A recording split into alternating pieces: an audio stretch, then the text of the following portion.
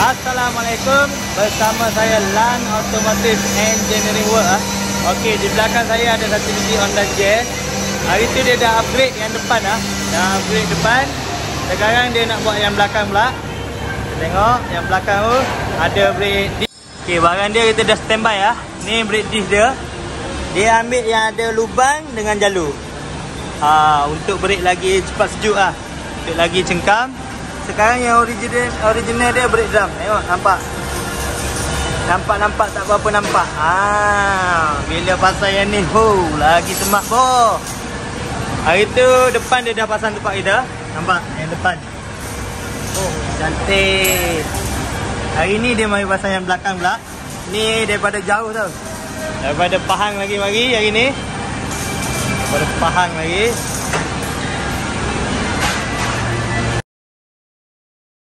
Ha, pada yang tengah menonton tu harap boleh tekan button subscribe dan share. Tekan button loceng sekali.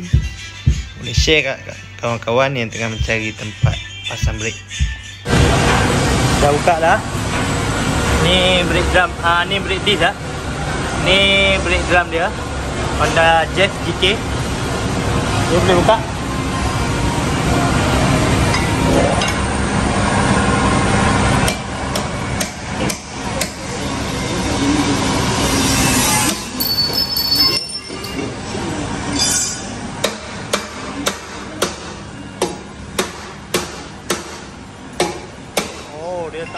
buka tengok.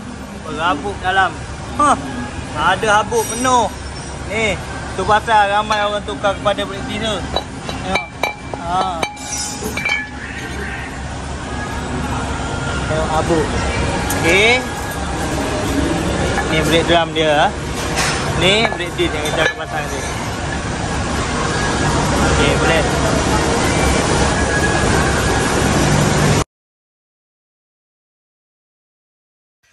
Yang ni barang yang kita standby Belum pasang lagi Tengok sampai habis. Ni kita dah standby barang-barang dia. Kita tengok. Haa Okay yang ni brake drum masa dia Brake drum masa Okay kita akan pasang. Okay dah siap lah Dah siap pasang. Nampak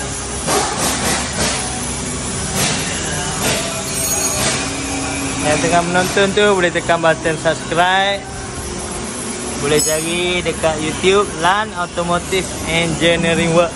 Dekat Facebook pun ada. Yang mana nak upgrade brake boleh call kita. Alhamdulillah. Dah siap? Nampak? Besar tu yang belakang. Oh my nak test. Ni yang brake drum yang asam ya yang asam ya. Ni yang tu yang nak drum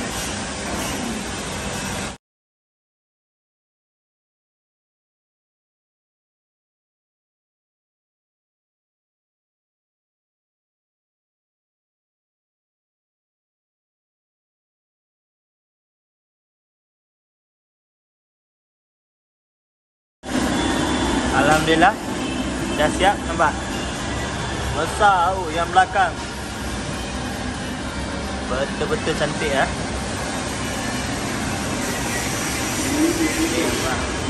Ha, ini tengah test. Ni yang beri drum yang atas ya. Ni yang atas ya. Yang tu yang nak drum. Ni dah siap. Kita nak test ah. Tengok. Uh, cantik.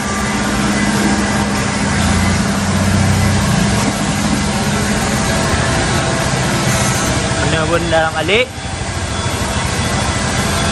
Yang mana tengah menonton Boleh tekan button subscribe. Harap sihat semua.